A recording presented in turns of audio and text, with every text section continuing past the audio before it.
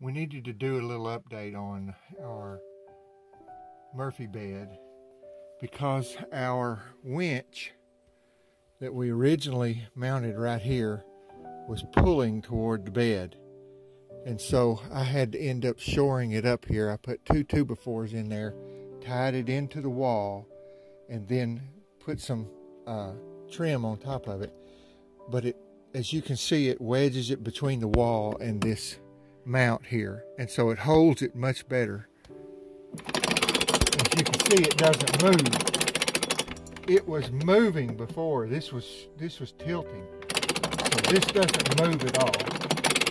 So we needed to do that update and let you all see that so that if you're working on a bed, a Murphy bed with a boat winch like this, that you'll realize that the force of this needs better better mounting and better uh, stability than what we had.